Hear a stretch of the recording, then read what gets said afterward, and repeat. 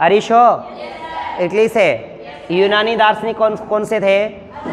अरस्तु प्लेटो और अरस्तु प्लेटो और डेकार्टे, है ना? और इसके बाद हमने पढ़ा कि जो मन मस्तिष्क के जो समर्थक रहे वो कौन कौन थे? शबास, मन मस्तिष्क के समर्थक बताओ। लॉक है, बर्कली है, कांट है, थॉमस रीड है। और चेतना की विज्ञान का प्रमुख कौन माना गया? William James. William James. समर्थक कौन कौन है? विलियम वुंटे टिचनर कांट निसली जेम्स सली वाइस। यही तो और डीवी था। और व्यवहार के विज्ञान का प्रमुख कौन है? प्रमुख व्यवहारवादी कौन है? प्रमुख व्यवहारवादी J B Watson, John Broadus Watson. प्रमुख व्यवहारवादी, प्रमुख उत्तर व्यवहारवादी कौन है? स्किनर है। स्किनर कहाँ से है? स्किनर का पूरा नाम क्या है? बराहम नहीं, बुरहम। बराहम है। के अब बराहम अब बराहम कर रही है। बुरहम फेडरिक है स्किनर है। बुरहम फेडरिक है स्किनर है। ये पढ़े? चेतना शब्द की आलोचना किसने की? आउटलाइन ऑफ़ साइकोलॉजी पुस्तक किसके है? प्रिंसिपल ऑफ़ साइकोलॉजी पुस्तक किसकी है? विलियम जेम्स की। विलियम जेम्स की। साचर्यवादी अस्तित्ववादी या संरचनावादी संप्रदाय किसने दिया था? विलियम मुंट और टीचनर। ने विलियम मुंट और टीचनर। प्रयोगात्मक मनोविज्ञान का जनक कौन है? विलियम मुंट प्रथम इस प्रथम मनोविज्ञान प्रयोगशाला स्थापना कब हुई? अठारह किसने की? कहाँ की? किस देश में? किस देश में? जर्मनी। किस स्थान पे? लिपजिंग शहर में। है ना? कौन से विश्वविद्यालय में? कार्ल मार्क्स विश्वविद्यालय। मनोविज्ञान को प्रयोगात्मक किसने बनाया? किस संप्रदाय ने बनाया? किस संप्रदाय ने बनाया? अस्तित्व अस्तित्ववादी या संरचनावादी? मनोविज्ञान को मनोविज्ञान को विज्ञान में ही किसने बनाया? व्यवहारवादी संप्रदाय। व्यवहारवादी संप्रदाय किसने दिया? जे बी वाटसन है। जे बी वाटसन कहाँ से हैं? अमेरिका से। गुरु का नाम क्या है? एंजिल। गुरु का नाम एंजिल है। गुरु का नाम एंजिल। इसके बाद प्रमुख व्यवहारवादी वाटसन, उत्तर व्यवहारवादी स्केनर है। इसके बाद हमने मनोविज्ञान की क्या पढ़ी? परिभाषा। तो परिभाषा में एक सबसे पहले हमने पढ़ा कि मनोविज्ञान व्यवहार का विज्ञान है। मनोविज्ञान व्यवहार का विज्ञान है, ये पिल्सब्री ने का डेफिनेशन पिल्सब्री के जबकि मनोविज्ञान को व्यवहार का विज्ञान के रूप में स्वीकार किया, वाटसन। मनोविज्ञान को व्यवहार के विज्ञान के रूप में स्वीकार किया जेबी वाटसन ने। और मनोविज्ञान को व्यवहार का विज्ञान कहा पिल्सबरी ने डेफिनेशन पिल्सबरी के। और यही सबसे बड़ी विवाद है। और मैंने ये कहा था कि ये डेफिनेशन जो पेपर में आती है ना, हर कैंडिडेट रीट की तैयारी करने वाला क्या करेगा? वाटसन करेगा। कि मनो प्रमुख व्यवहारवादी कौन है? वाटसन मनोविज्ञान को व्यवहार के विज्ञान के रूप में स्वीकार किया वाटसन है। परंतु मनोविज्ञान को व्यवहार के विज्ञान के रूप में परिभाषित नहीं किया। परिभाषित किया था सबसे पहले पिल्सब्रेन और व्यवहार के रूप में मनोविज्ञान को व्यवहार के रूप में अगर किसी ने डेफिनेशन दी ये बातें मैं पहले बता के गया था। व्यवहार शब्द का सबसे पहले प्रयोग अगर किसी ने किया तो वो विलियम मैकडुगल, ब्रिटेन के विलियम मैकडुगल, जिसकी पुस्तक थी आउटलाइन ऑफ़ ए साइकोलॉजी। फिर पढ़ा कि मनोविज्ञान व्यवहार का शुद्ध, निश्चित, धनात्मक मन रहित विज्ञान है, वाटसन का कथन है। इसके बाद हम पढ़े स्किनर का।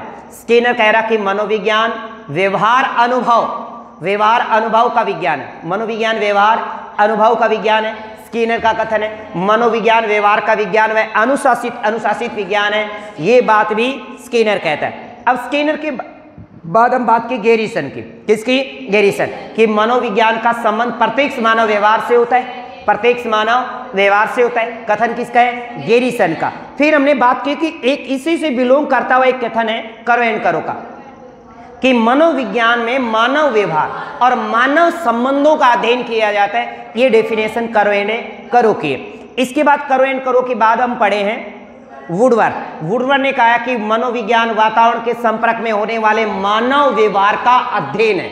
मानव व्यवहार का अध्ययन। हमने बात ये भी की, यहाँ पे अध्ययन वर्ड को निकाल दिया जाए, विज्ञान वर्ड जोड़ दिया जाए।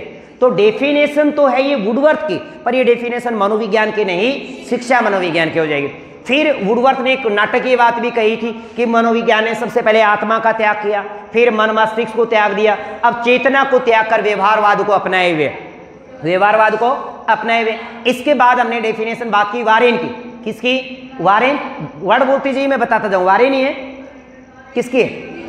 विलियम मैकडूगल विलियम मैकडूगल क्या कहते हैं? विलियम मैकडूगल का मानना है कि मनोविज्ञान व्यवहार का विधायक मनोविज्ञान व्यवहार का विधायक विज्ञान है, मनोविज्ञान व्यवहार का यथार्थ विज्ञान है, मनोविज्ञान जीवित प्राणियों के व्यवहार का विधायक विज्ञान है। ये विलियम मैकडूगल मैकडूगल के बाद है, वारेन। वारेन कहता कि मनोविज्ञान, है? बोरिंग। बोरिंग मानव प्रकृति का अध्ययन। बोरिंग कहता कि मनोविज्ञान व्यवहार का, यानी मनोविज्ञान मानव प्रकृति का अध्ययन या मानव प्रकृति का अध्ययन। ये बात बोरिंग, और बोरिंग की बात का समर्थन करता है लेगफील्ड और वेल। लेगफील्ड और वेल, फिर वारेन आता है। कौन आता है? वारेन। अब वारेन की बात करें तो वारेन कहता कि मनोविज्ञान, वह विज्ञान है जो प्राणी प्राणी और वातावरण के मध्य पारस्परिक संबंधों का अध्ययन करता है। पारस्परिक संबंधों का अध्ययन करता है। इसके बाद डेफिनेशन आती है। किसकी? सेंट्रोक। सेंट्रोक कहता कि मनोविज्ञान व्यवहार और मानसिक प्रक्रिया का अध्ययन है। अगर मनोविज्ञान, मानसिक व्यवहार और मानसिक प्रक्रिया का अध्ययन सेंट्रोक की है, अगर इसी के साथ जोड़ दिया जाए कि मनोविज्ञान है, व्यवहार और मानसिक प्रक्रिया का वैज्ञानिक अध्ययन है तो ये कथन हो जाता है एनकिंसन हेलगार्ड और सिमित का। फिर बात कही थी लास्ट में गेरिट ने। किसने? गेरिट। गेरिट का कथन है कि मनोविज्ञान जीवित प्राणियों के वातावरण के साथ अंत क्रिया या अनुक्रिया का अध्ययन करता है। ये बातें गेरिट की थी। इसके बाद हम बात पढ़े जेम्स ड्रेवर। जेम्स ड्रेवर का पढ़ा कि मनोविज्ञान मनोविज्ञान व्यवहार का विशुद्ध विज्ञान है, विशुद्ध विज्ञान है। ये बातें आप थोड़ा थोड़ा साथ रिवाइज करते जाइएगा। जे ये टॉपिक पूर्व पर डांगा ना तो आप पाँच मिनट की कर लिया करांगा। रिवाइज थारी दिमाग में धीरे धीरे धीरे धीरे सेव हो जाएगी। मनोविज्ञान के अनुसंधान के चरण मैंने चार बताए। और मैंने कहा सबसे पहले अपन समस्या का चयन करेंगे फर्दर डाटाओं का संग्रह करेंगे, उसका निष्कर्ष निकालेंगे और निष्कर्षों का पुनर्परीक्षण कर देंगे। फिर मनोविज्ञान के दो कार्य मुख्यतः मनोविज्ञान के मुख्य दो कार्य एक अनुसंधान के रूप में और एक अनुप्रयोग के रूप। अनुसंधान के रूप में अगर हम बात करें, वही चार कथन। पहली बात है समस्या का समस्या का चयन। दूसरा होता है समस्याओं का पर्दा डाटाओं का डाटा कलेक्शन करना। तीसरा होता है निष्कर्ष और चौथा होता है पुनर्निरीक्षण पुनर्निरीक्षण चार चरण होते हैं और अनुप्रयोग के रूप में जो हमने उन चीज़ों को प्रयोग, यानी मानव व्यवहार के अंतर्गत उनको प्रयोग में ला रहे हैं तो अनुप्रयोग हो जाता है। आज की क्लास में अपन जो चर्चा करेंगे वह मनोविज्ञान के लक्ष्य। क्या होगा? मनोविज्ञान के लक्ष्य।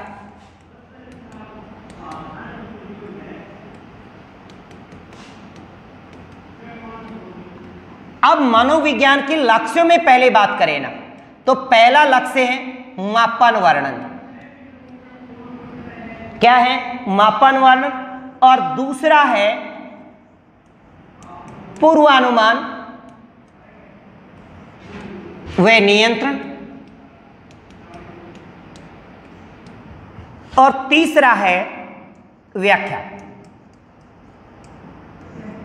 कि मापन वर्णन क्या है? किसका मापन? किसका वर्णन?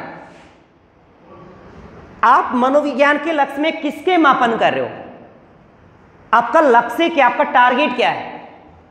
तो यहाँ पे मापन वर्णन में एक बात ध्यान रखेगा किसी भी प्राणी का जो पहला लक्ष्य होता है, उसका व्यवहार और उसकी मानसिक प्रक्रिया।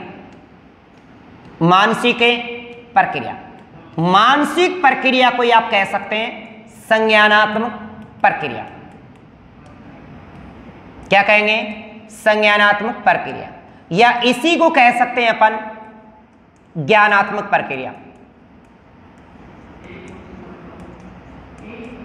ज्ञानात्मक प्रक्रिया। पहली बात मनोविज्ञान के लक्ष्य में होता है। पहला लक्ष्य किसी भी प्राणी का होता है। उसके व्यवहार और मानसिक प्रक्रिया को जानना, उसका अध्ययन करना, उसका वर्णन करना। और इसका फिर मापन करना। यानी पहला टारगेट क्या होता है?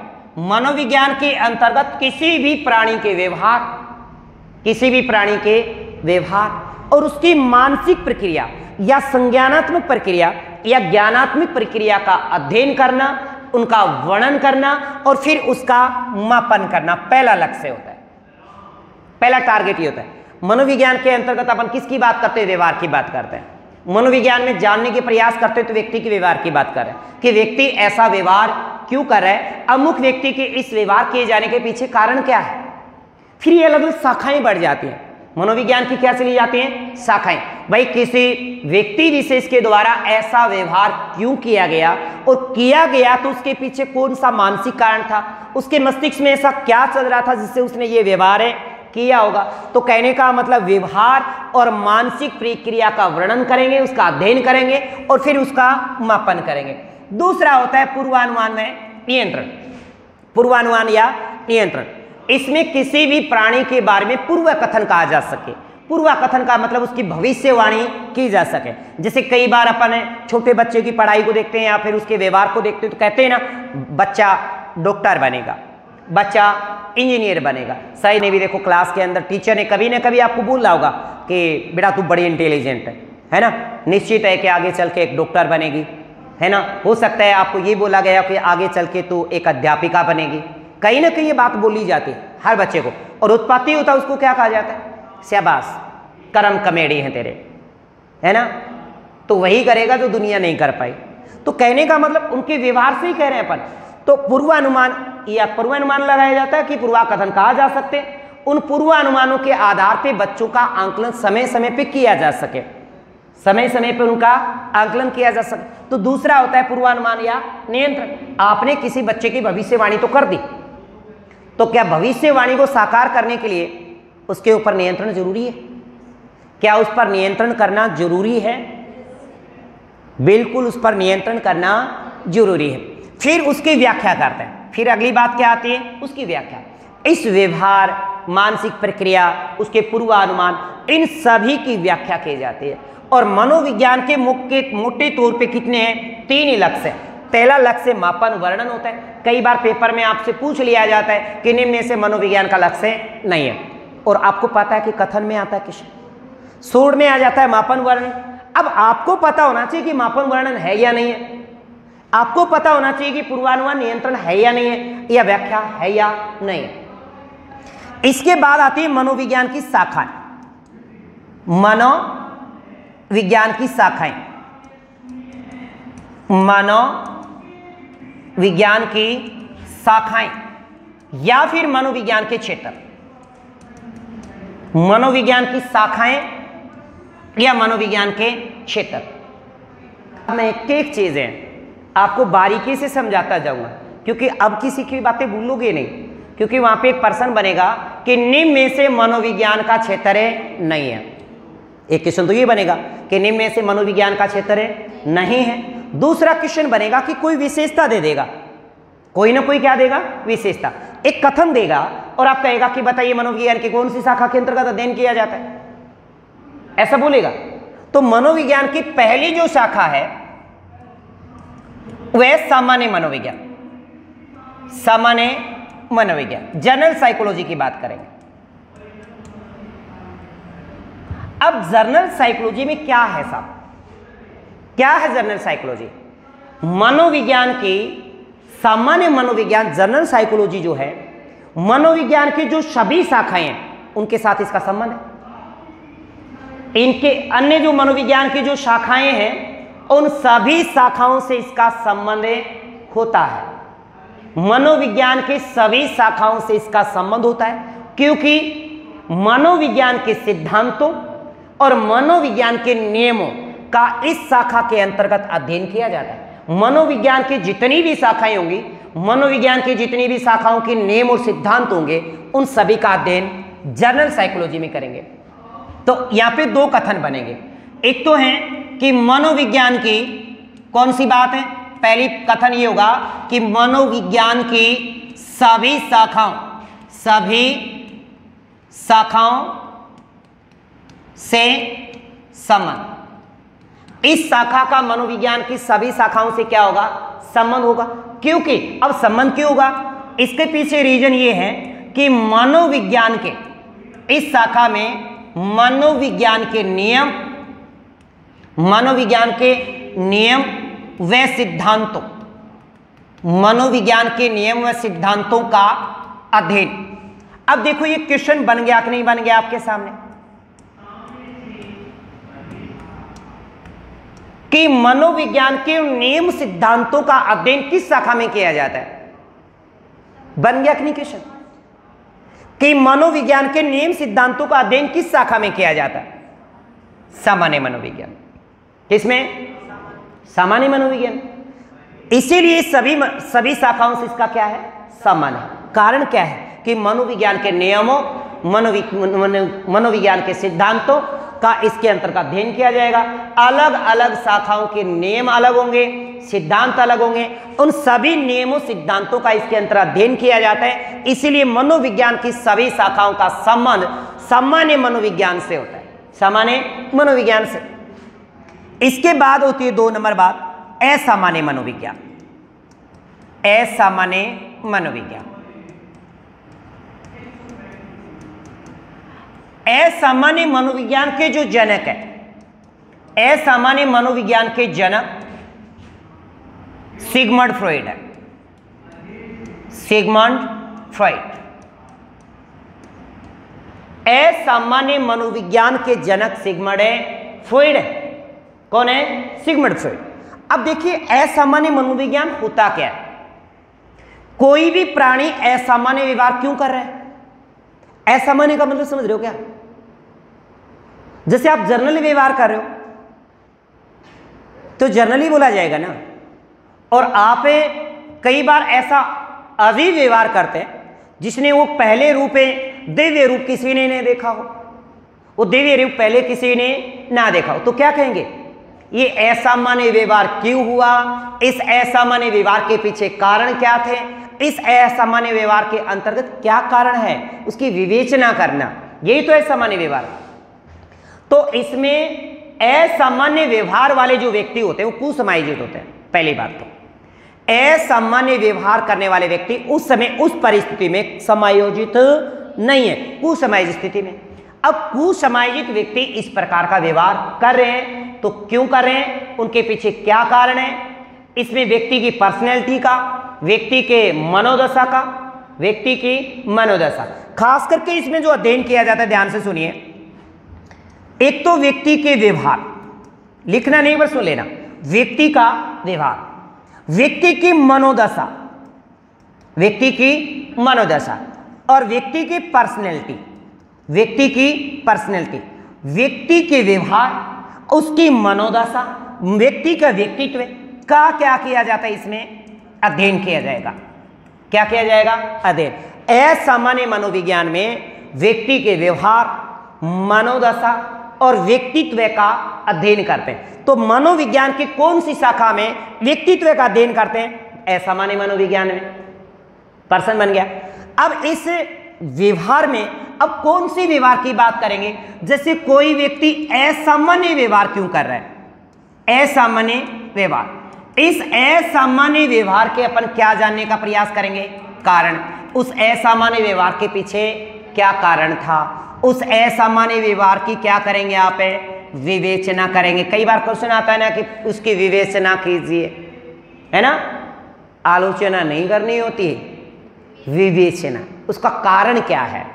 तो यहाँ पे देखो हमने जो बात सीखी कि असामान्य मनोविज्ञान के जो जनक वो सिगमंड फ्रॉइड है। और असामान्य व्यवहार असामान्य मनोविज्ञान के अंतर्गत व्यक्ति के व्यवहार, व्यक्ति की मनोदशा और व्यक्ति की व्यक्तित्व, उसकी पर्सनैलिटी का अध्ययन किया जाता है। इस शाखा के अंतर्गत व्यक्ति जब कुसमायोजित हो या कुसमायोजित व्यक्ति द्वारा असामान्य व्यवहार क्यों किया गया? उस असामान्य व्यवहार के पीछे क्या कारण है? उसकी क्या विवेचना? ये सब जानना किसके अंतर्गत आता है? असामान्य मनोविज्ञान। अब क्वेश्चन कैसे आएगा?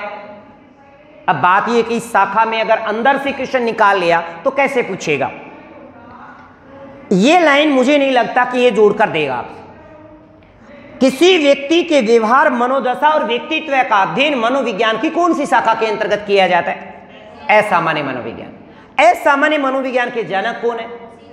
Sigmund Freud. कौन है? Sigmund Freud. तो व्यक्ति के व्यवहार, मनोदशा, व्यक्तित्व का अध्ययन किया जाता है असामान्य मनोविज्ञान में। असामान्य व्यवहार जो करता है वो व्यक्ति कुसमायोजित होता है। कुसमायोजित व्यक्ति के असामान्य व्यवहार के कारणों को जानने और उनका अध्ययन मनोविज्ञान की कौन सी शाखा में किया जाता है तो कहेंगे असामान्य मनोविज्ञान। थोड़ी डाउट होगी। या सिर्फ़ अध्ययन कर रहे हैं, पर असामान्य मनो व्यवहार को जानने का प्रयास जिसमें करते हैं और उनको सुधार करने का जो प्रयास किया जाता है, वो नैदानिक मनोविज्ञान में होता है, उपचारात्मक मनोविज्ञान में होता है उपबोधन मनोविज्ञान में आता है और नैदानिक मनोविज्ञान या फिर उपचारात्मक मनोविज्ञान? इसी का दूसरा उपनाम है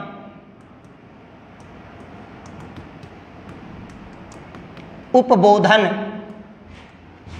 मनोविज्ञान। उपबोधन मनोविज्ञान। क्या होता है इस शाखा में? देखो, हमने एक बात पढ़ी कि ऐसा असामान्य मनोविज्ञान में व्यक्ति के व्यवहार, उसके कुसमायोजन के कारण, है ना? कारण उनकी विवेचना जानते हैं ऐसा असामान्य व्यवहार क्यों करा, उसका जानने का प्रयास करते हैं। जबकि निदान का अर्थ क्या होता है? देखो, पहले इन वर्डों को जानना चाहिए। एक होता है निदान। निदान का अर्थ ही क्या होता है? जानना होता है। निदान का अर्थ क्या है? जानना। और उपचार का मतलब क्या है? वैसे इसका समाधान होता है। क्या होता है? समाधान। अब क्या जानने की बात कर रहे हैं अपन? किसके जानने की बात कर रहे हैं? निदान में क्या जानने का प्रयास कर रहे हो? कुसमायोजित व्यवहार। एक व्यक्ति के कुसमायोजित व्यवहार के कारणों को जानना और कुसमायोजित व्यवहार को सुधारने का काम करना। वो हो जाता है उपचार।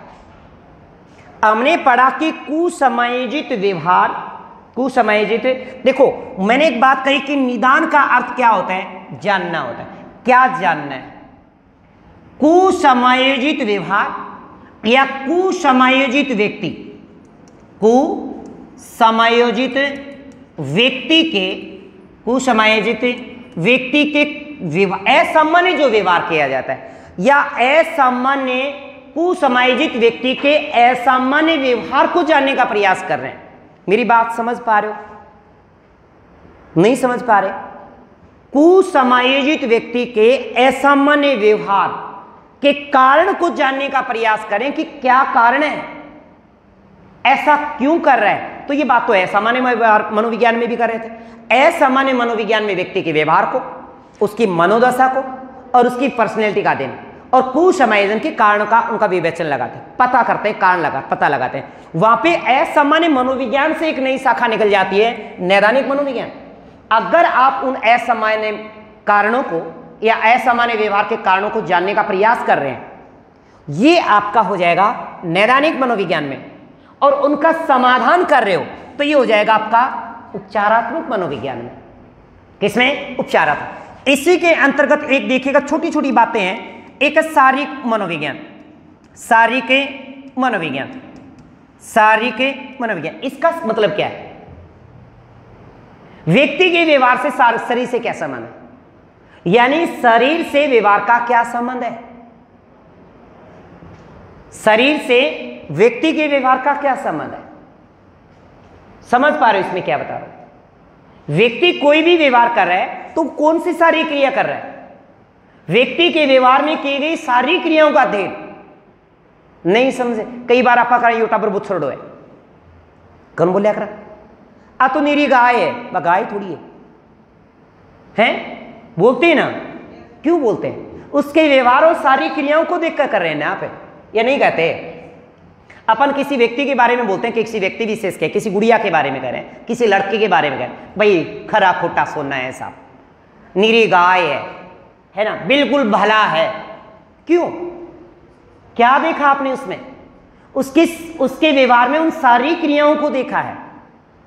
व्यवहार में या उसके व्यवहार में उन सारी क्रियाओं का? या व्यवहार के द्वारा उन सारी क्रियाओं का अध्ययन किया जाता है। इसके अंतर्गत व्यक्ति के व्यवहार, व्यक्ति के व्यवहार का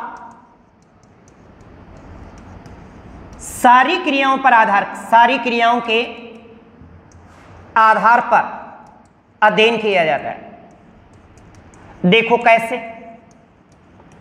नॉर्मल ले लेते हैं। जैसे गोल मटोल व्यक्ति है। गोल मटोल समझे? थोड़े हसमुख कैसे होते हैं साहब शौकीन मिजाज के। हसमुख होंगे, समायोजित होंगे, सामाजिक परिवर्तन वाले होंगे, मेलजोल वाले होंगे, जिस दिन जियो का नेट काम नहीं करे, उनका काम करेगा। क्योंकि मित्र मंडली ज़्यादा होती। मित्र मंडली ज़्यादा होती। एक इसके बाद तो शरीर से ले लेते हैं, मान लो थोड़ा कोई व्यक्ति अलग से। जैसे आपने ऐसा व्यक्ति जो आयता करती है, क्या है? आयता करती उस व्यक्ति का व्यवहार होगा, जोशीला होगा, क्रोधी परवर्ती का होगा। हाँ आत्मविश्वास कुट कुट के भरा है आत्मविश्वास उसमें कुट कुट के भरा होगा आपकी तरह। चाहे बोरा भर ले। है ना? ज़रूरत पड़े तो आत्मविश्वास का, अब तो चाहे बोरा भर ले पेपर में न के बराबर हो जाता है। तो कहने का मतलब व्यक्ति के व्यवहार का सारी क्रियाओं के आधार पर अध्ययन किया जाता है। अब इसके बाद सारी के बाद होता है सामाजिक। सामाजिक मनोविज्ञान क्या व्यक्ति सामाजिक परिस्थितियों में कैसा व्यवहार करता है? यही तो है। देखो, अगला क्या है? सामाजिक मनोविज्ञान। अब सामाजिक मनोविज्ञान आपको क्या बताता है? सामाजिक मनोविज्ञान कहता है कि व्यक्ति सामाजिक परिस्थिति में व्यक्ति सामाजिक परिस्थिति में कैसा व्यवहार करता है? आपके सामने कैसे सामाजिक परिस्थिति कोई क्रिएट होती है, उसमें आप कैसा व्यवहार करते हो? जैसे कई बार आप आपको कोई भी जानता है ना तो अपना समाज जानता है कि कैसा है। कई बार घर वाले भी नहीं जानते पर बाहर वाले जानते हैं कि भाई थार लो छोरो किसु के समाज वाले बता देते हैं। क्यों? क्योंकि उन्होंने उनको सामाजिक प्रक्रिया में देखा है, सामाजिक स्थिति में। सामाजिक मनोविज्ञान के अंतर्गत सामाजिक परिस्थितियों में व्यक्ति का अध्ययन किया जाता है।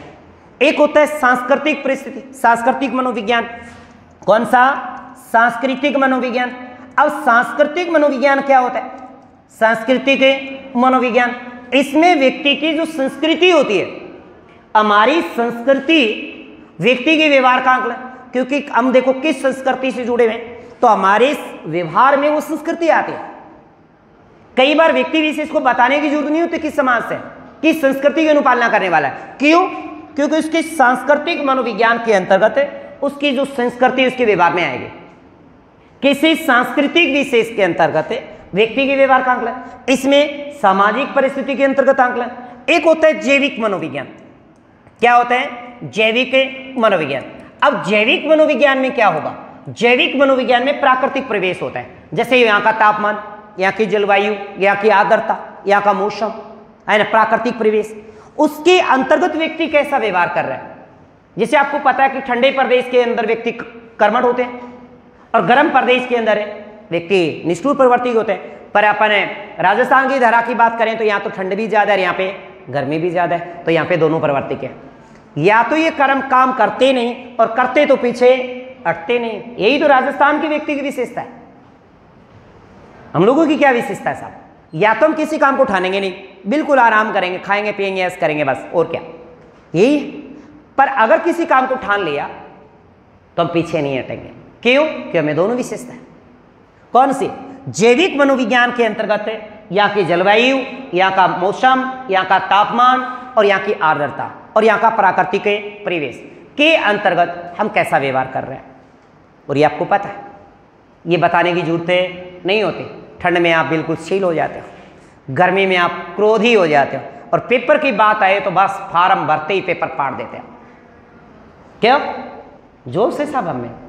है ना? तभी तो कहते हैं ना हुस ना खोदे कहीं जो से न देखने वाला। कहते ही नहीं कहते लगे हुए थे तो जैविक मनोविज्ञान में हमने पढ़ा शारीरिक में, शरीर आधार पे, सामाजिक में, समाज विशेष के आधार पे, संस्कृति में, संस्कृति विशेष। व्यवहार की बात कर रहा है। मनोविज्ञान के अंतर्गत व्यवहार से हटकर कोई बात ही नहीं हो रही। सिर्फ़ व्यवहार। अगर हम व्यक्ति के व्यवहार को जान गए तो सब कुछ जान गए। है ना? तो बस इतना ध्यान रखिएगा।